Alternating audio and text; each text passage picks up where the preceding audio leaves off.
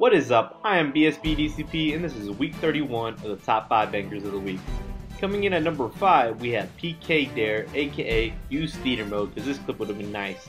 He's to throw it off the cylinder on Meltdown and boom, hits the guy over there.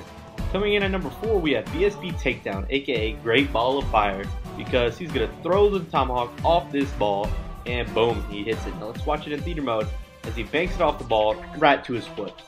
Coming in at number 3, we have Go Noel, aka Mr. Patient, as he waits patiently on his enemy to start capping A, throws it high off that R, and boom, he hits it. Now he's gonna melee the air, make it legit, and just to celebrate. Good job, man. Coming in at number 2, we have Trek Down, aka Get to the Chopper, because he's gonna be playing free for all, gets 29, switches classes, gets killed. Now let's watch this. Alright, so he spawns right over here, throws his stun, he gets to the chopper and throws a bank off of it and boom, hits it right away. First try, uh, awesome job, free for all kill cam here.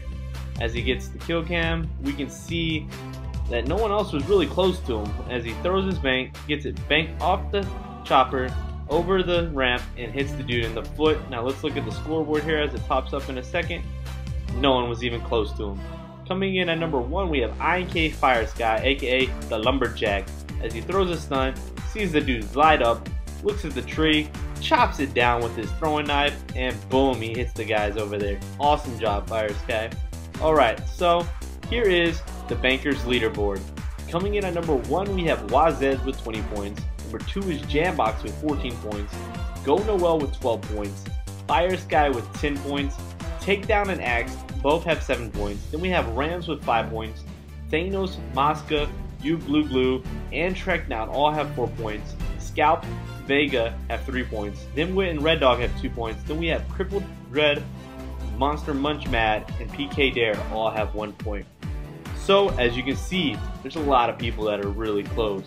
And week 32 is the final week to see who makes it into the tournament. So, make sure everyone submit your banks and try to make it into the top 5 bankers of the week.